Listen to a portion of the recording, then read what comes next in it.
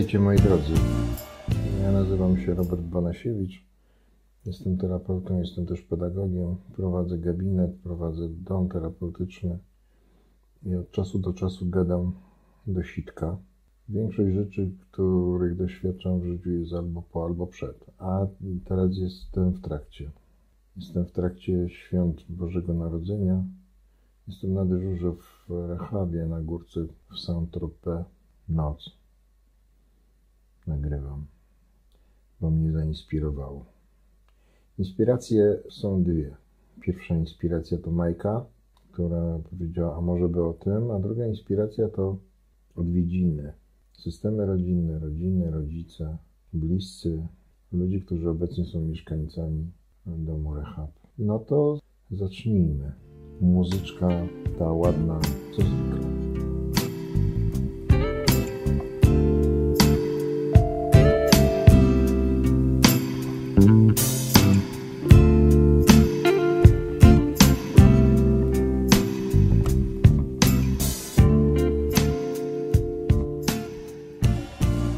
Nie mów, nie czuj, nie ufaj.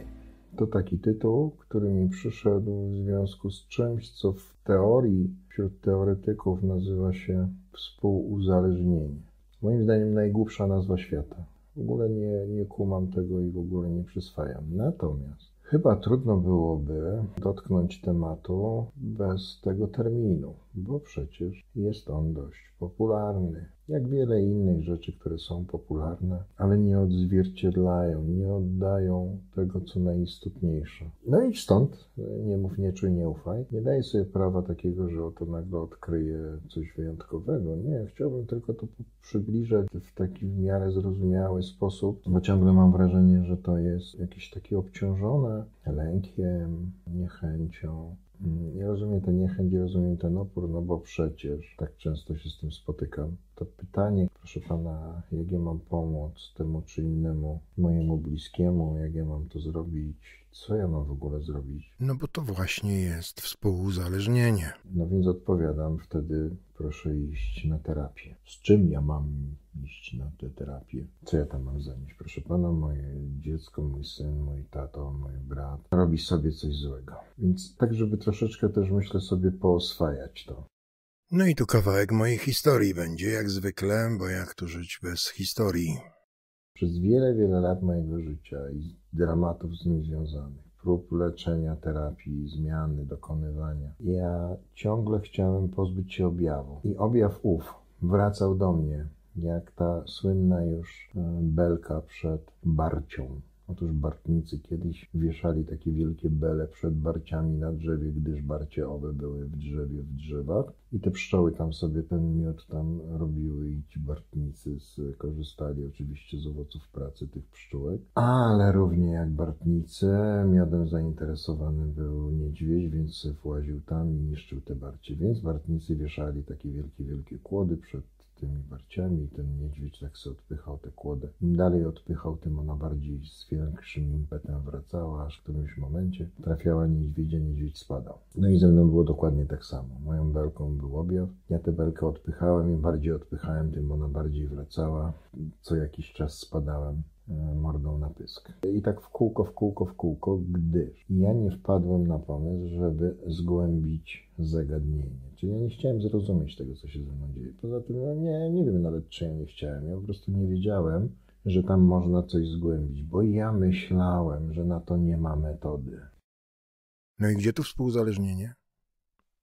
No na razie jeszcze nie ma, ale zaraz będzie. To, co przyświeca ludziom, to, co przeraża ludzi, kiedy są w uwikłaniu, jakim niewątpliwie jest to współuzależnienie, to przekonanie o tym, tego nie da się zmienić. Nic nie mogę z tym zrobić. A może jednak? Że jest coś gdzieś zaburzone. To to zaburzenie deleguje do tych zadań nie mów, nie czuj, nie ufaj delegatów, których bardzo ładnie określa. Jeden delegat to bohater rodzinny, jest kozioł ofiarny, bądź czasem nazywany czarną owcą. No myślę, na jedno wychodzi. Ostatnio jeszcze pojawiło się, ja trafiłem na takiego delegata, którym ja byłem. czyli taki powiernik, czyli taki, takie dziecko, któremu powierzamy jakieś bardzo trudne szczegóły. Tato odszedł, zostałem z mamą, więc mama ze mną rozmawia na te, na te bardzo trudne tematy, no i robi mnie takiego troszeczkę zastępczego partnera na życie swoje. To było tak u mnie. Czarna owca to też moja historia. Te delegacje, o których mówię, to nie mniej więcej, tylko te znane nam przecież z podręczników i z różnych innych źródeł role dzieci z domów dysfunkcjonalnych, kiedyś nazywaliśmy to z domów alkoholowych. Ja myślę, że nie potrzeba specjalnej e, patologii w sensie picia, ćpania i przemocy, żeby pojawiły się te role, w które wchodzimy, które potem wypełniamy. W tej mojej nomenklaturze, w tym moim języku, to są delegacje. Ja będę o nich tak gadał, jak o delegatach w delegacji na delegaturze. Ty chyba trochę też po to, żeby to wszystko podczarowywać. Ale też chyba dlatego, bo przekorny jestem. Ciągle chodzi o to, że gadamy o współzależnieniu, o współzależności, o uwikłaniu.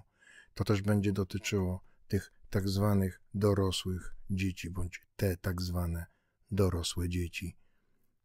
Jedziemy dalej na delegację.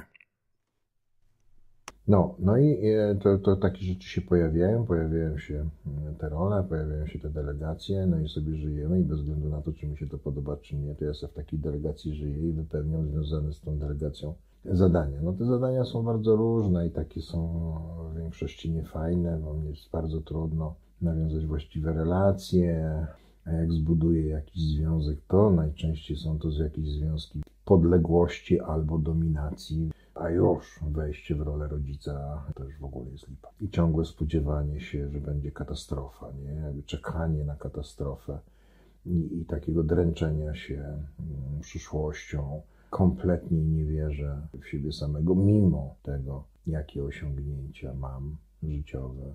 Przecież spotykam tych ludzi, którzy mają doktoraty i, i większości rzeczy, których się dotkną, są w stanie zamienić w złoto jak Midas a jednocześnie przecież e, kompletnie nie mają tego, co nazywamy wiarą w siebie. Nie są przekonani o tym, że jestem wystarczająco dobry, to to nie istnieje. No i taka pojawiająca się też, nie wiem, taka zero-jedynkowość w ocenie. Coś jest albo nie ma. Objawy, objawy, sporo objawów, ale i też coś nowego. Czyli coś starego, coś nowego, coś pożyczonego, a jest jeszcze coś takiego, co mnie bardzo zaskoczyło w ogóle, i, ale też ucieszyło, a, a jednocześnie mi trochę schlebiła, bo tak odmłodzieńczo się nazywa, ale naukowo to jest e, prokrastynacja, a tak popularnie taka postawa studenta. No i to, to jest to takie coś, co można by było najprościej określić odkładaniem na później. Na nigdy, bo później w moim życiu nie istnieje. Oczywiście, że ta prokrastynacja w niektórych krajach nazywa się po prostu lenistwem. No bo tej prekrastynacji to w życiu nie zapamiętam. No to się okazuje, że jest to zaburzenie psychiczne. Znaczy, że jest uważane za zaburzenie psychiczne, ta prokrastynacja. No i ja sam wielokrotnie przecież najlepiej uczyłem się gdyż odkładałem na później do tego stopnia, że uczyłem się na korytarzu przed egzaminem, bo już dalej się nie dało odłożyć. Oczywiście, że nie zawsze to się udawało, no bo to, tu jest to połączenie takie z perfekcjonizmem, nie? Czyli ja nie chcę się uczyć, ja chcę umieć, ja nie chcę doświadczać, nie chcę popełniać błędów i wyciągać z nich wniosków. Zaburzenia tutaj takie powstają w tym takim najlepszym procesie uczenia się, czyli metodą prób i błędów. Ja owszem chcę podejmować próby, ale nie chcę popełniać błędów, a potem się okazuje, że popełniam i to ciągle te same. Współzależnienie, współzależność DDA, DDD boi się i ten strach jest wystarczający, żeby nie podjąć działania.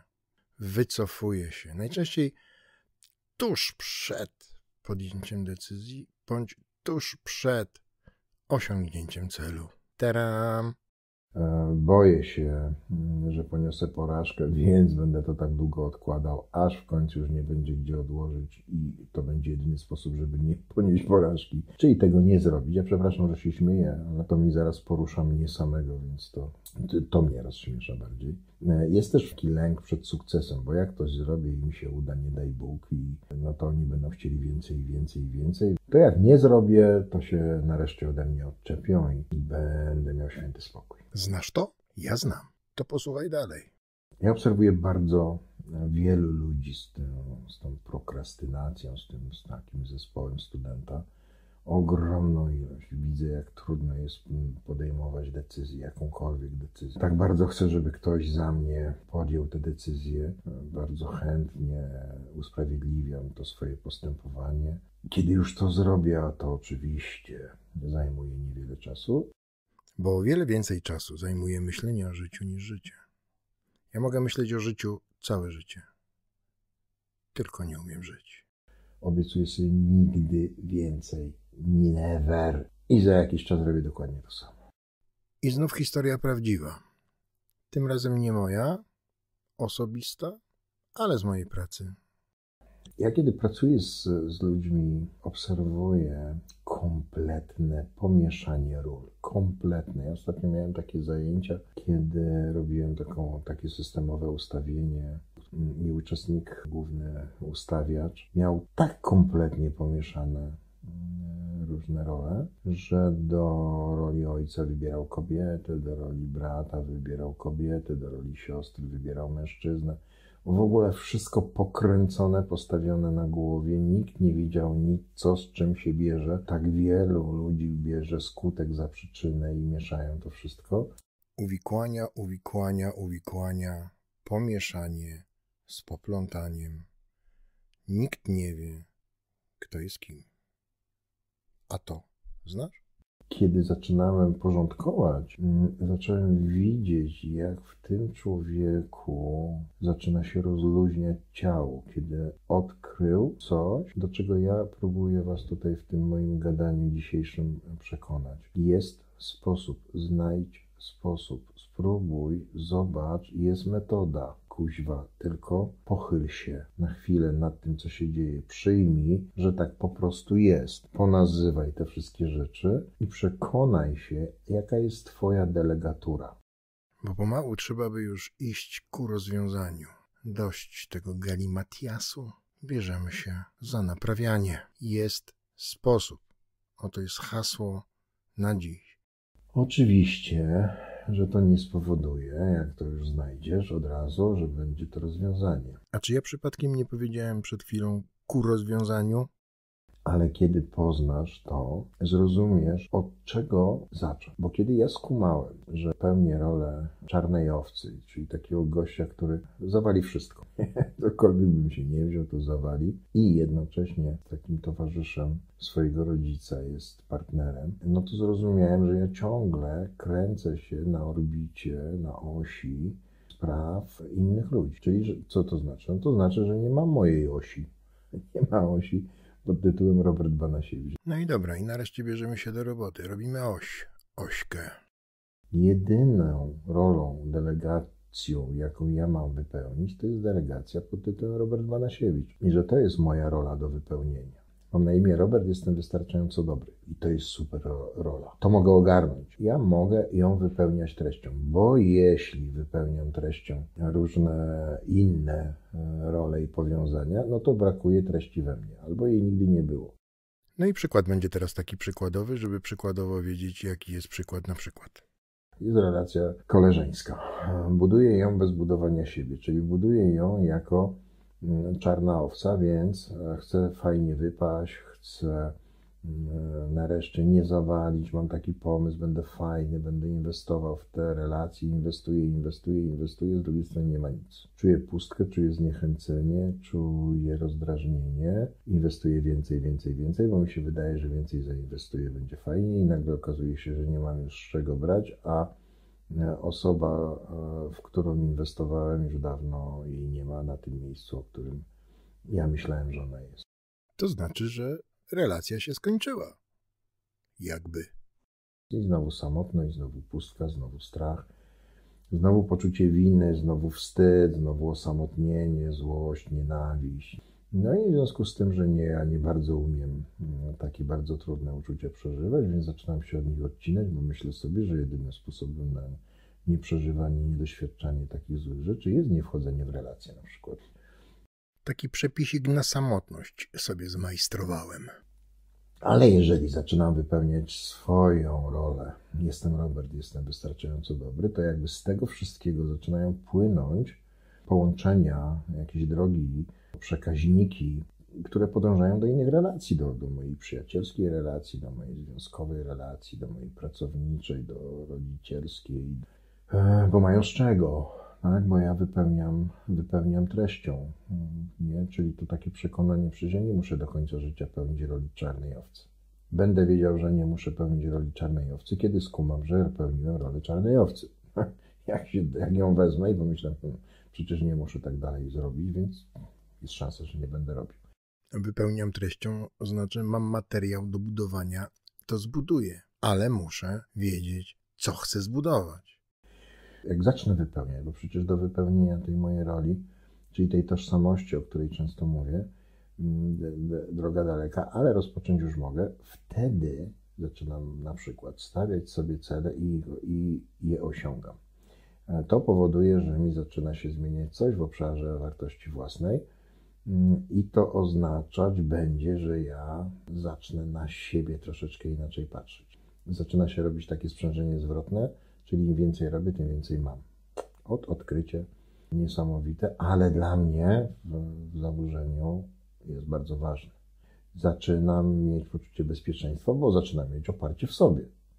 Bo inaczej to, jak nie mam oparcia w sobie, to moje zaburzenie poczucia bezpieczeństwa objawia się takim nadmiarowym lękiem przed przyszłością. Zaczynam tam tworzyć potwory, zaczynam tworzyć historie, których nie ma, albo zaczynam szukać w przeszłości i też wyciągam jakieś rzeczy sprzed wielu, wielu lat, albo i takie, których nigdy nie było, ale żeby się troszeczkę podręczyć e, lękiem, złością i wstydem. Jak zaczynam też tworzyć siebie, no bo w moim wypełnieniu mojej roli Robert Banasiewicz, no jest przecież moja męskość też, czyli taki obszar, którego przez wiele lat nie tykałem, bo nie wiedziałem kompletnie, jak się za to wszystko zabrać. Bo jeżeli nie wypełnię siebie, czyli tej roli ja, Robert Banasiewicz... No masz, no już to gadałeś. No to zaczynam moją męskość całą kojarzyć tylko z zachowaniami seksualnymi, nie? czyli całą moją seksualność redukuję do zachowań seksualnych, do uprawiania seksu, a co za tym idzie, oczywiście mm, moje wyobrażenia, bo edukacja słaba mm, seksualna, więc moje wyobrażenia o tym są, o mnie jako o partnerze seksualnym są marne, więc w ogóle jest do kitu. No tak, ale skąd dziś wziąć prawdziwą edukację seksualną? Tego niestety nie wiem. Nadal nie wiem. I jak zacznę wypełniać moją rolę, która do mnie należy, to zaczynam tam też e, widzieć prawdę. Czyli jest jak jest. Jest po prostu tak. Jeżeli jest coś mm, patologicznego, no to e, trzeba iść do lekarza, ale jeżeli to jest tylko w mojej głowie, to trzeba tam po, posprzątać. To jest jeszcze bardzo ważny element przy tym wypełnianiu mojej delegacji Robert Banasiewicz, czyli wejście w obszar miłości. I tu zaczynam dotykać też mojej sfery duchowej, gdyż albowiem Bóg jest miłością. To miłość jest Bogiem, więc e, zaczynam też widzieć w prawdzie, że miłość to nie jest uczucie, tylko to jest zestaw, zespół różnych zachowań, uczuć, emocji, postaw i zaczynam kochać prawdziwie, a nie e, w sposób, który e, przynależy stanowi zakochanie. Trzeba będzie chyba zrozumieć, że nie ma w tym niczyjej winy. I jak to zrozumie, można będzie coś poprawiać, chyba. Zachęcam Was do takiego badania swoich ról e, wynikających z, z modeli, modelu wychowania nie dlatego, żeby zobaczyć, jaka była patologia w moim domu i oh my god, wziąć i to wszystko ich obciążyć. Nie o to chodzi kompletnie. To, że ja jestem w terapii, to, że ja jestem w zaburzeniach jakichś wynika z tego, że ja mam pewną konstrukcję i akceptacja tego, że ja mam pewną konstrukcję zaczyna mnie otwierać na poszukiwanie rozwiązania. Czyli otwartość, uczciwość i gotowość do zmiany jako duchowe podstawy e, przemiany w ogóle. I jak e, zajmę się tym i zobaczę, jakie role ja, ja najczęściej pełniłem, to mus, mogę się samego przekonać, ej, nie muszę tak dalej. I to jest punkt wyjścia, to jest start. Otwieram drzwi i wychodzę do wypełniania mojej przestrzeni. Jestem Robert Banasiewicz, jestem wystarczająco dobry. Się uwziął, no. Wystarczająco dobry, wystarczająco dobry. A właściwie to tak. Zaczynam napełniać się wartościami. Zachęcam Was do tego, bo to rozwiązuje wiele rzeczy. Uwalnia mnie od schematów, uwalnia mnie od przekonań, uwalnia mnie od takiego, od takiego wyobrażenia na własny temat. Kurczę, tego się nie da zmienić. Nie, to da się zmienić. Znaczy wolność? I mogę ja to zmienić i, i, tylko muszę zobaczyć, czy to jest dla mnie ważne, ta zmiana, czyli czy ja mogę tak żyć, czy ja chcę tak żyć, jak żyję. Bo jeżeli chcę, no okej, okay, dobra, odwal się i daj sobie spokój, żyj jak żyjesz. No tak. Ale jeżeli chcesz to zmienić, bo nie chcesz tak żyć, to wykombinuj sobie, jak chcesz żyć i zacznij to robić. Zacznij wypełniać swoją delegację, delegację pod tytułem i tu se wstaw swoje imię i nazwisko. No i teraz będą życzonka. Jak mówiłem na początku, święta, święta i po świętach, a teraz przed nami Sylwester, Nowy Rok, coś się kończy, coś się zaczyna i o to chodzi. Więc życzonka, czas start. Życzę Wam wszystkim radości w poznawaniu siebie, radości w wypełnianiu mm, swojej delegacji i tworzenia własnej osi e, siebie samego. Życzę Wam piękna na nowy rok i dobroci i tego, żeby dobro nas otaczało, żebyśmy pokazywali dobro. To też o tym bym chciał trochę powiedzieć kiedyś. Mam nadzieję, że do tego wrócę. Dobro. Dobra, dobra. Szczęścia, zdrowia na nowy rok, radości z narodzin nowego, bo właśnie się narodziło. Bądźcie zdrowi, jakbyście mogli i chcieli się wypowiedzieć o tym, co ja tutaj gadam, to mów ta. Mów ta, rób ta, być ta zdrowe i być ta szczęśliwe i być ta radosne mm, na ten nowy rok. Śpiewak się znalazł. Muzyczkę lepiej włącz, bo koniec już tego. Do zobaczenia. Wszystkiego dobrego. Do zobaczenia w przyszłym roku. Bye bye.